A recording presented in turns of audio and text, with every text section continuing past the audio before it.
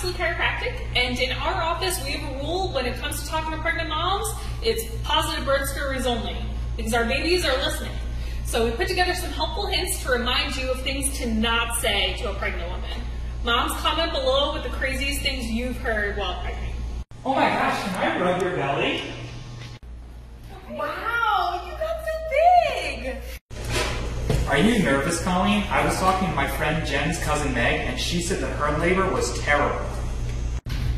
Well, Colleen, elephants are pregnant for 22 months. You don't have that yet. So you're still pregnant, huh? Wow, are you sure there's not two in there? Wow, you look really tired. Guys, those are just some of the things that you know now not to say to a pregnant woman. Moms, comment below with your, oh my gosh, did you really just say that moments?